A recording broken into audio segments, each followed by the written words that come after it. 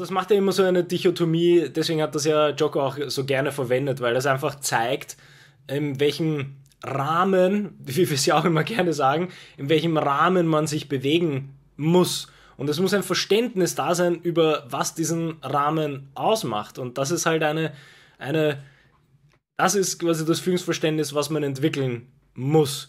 Und ich glaube, da muss man sich auch als junge Führungskraft ähm, ein bisschen vielleicht sich selbst am Anfang zurücknehmen oder seine eigenen Erwartungen etwas bremsen, weil wir es oft genug sagen, ja, man kann nicht alles wissen und das ist ein, eine, eine, eine Position, in die man auch hineinwachsen wird.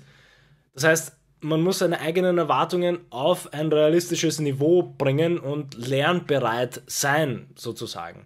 Und sich diese Dinge, diesen Rahmen, in dem man sich selber bewegen muss, den muss man sich auch erst erarbeiten. Und äh, mit, mit äh, dem neuen Team sprechen, man muss mit äh, seiner eigenen Führungskraft vielleicht sprechen. Das erwähnen wir ja auch oft, dass man das nicht aus den Augen verlieren darf, dass man ja in den meisten Fällen, wenn man jetzt eine neue Führungskraft ist, es ist meistens noch irgendwo jemand drüber, den man eigentlich auch um Tipps fragen könnte. Also wenn es spezielle Probleme gibt, am Anfang vor allem, wie ich, wie ich in etwas hineinkomme, dann unbedingt auf die Person auch zugehen und versuchen dort Unterstützung zu bekommen, weil das ja auch so eine, so eine Haltungssache ist, aber was wir ein paar Mal auch schon erwähnt haben, wie wichtig eigentlich diese Haltung in der ganzen Geschichte ist, dass ich muss selbst ja auch feedbackbereit sein und lernbereit sein. Und wenn ich selber zu einer ähm, anderen Führungskraft gehe, die vielleicht über mir ist, wie wird das dann wohl wirken für mein eigenes Team? Sehr gut, weil die werden nämlich sehen, ah, okay, die Person ist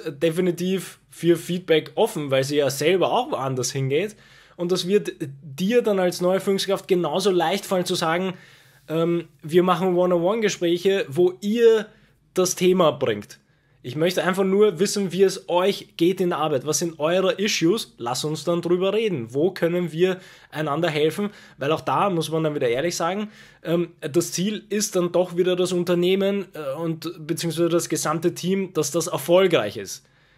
Das sind aber natürlich Komponenten, aus denen sich das zusammensetzt, nämlich aus den individuellen Mitarbeitenden und wie es denen geht und wie gut die arbeiten können und wie sich die entwickeln können. Aber man darf nicht aus den Augen verlieren, am Ende des Tages geht es trotzdem um dieses gesamte Team, das gesamte Unternehmen und wir wollen dort erfolgreich werden. Und da muss man diese ganzen Puzzlestücke halt beginnen zusammenzusetzen.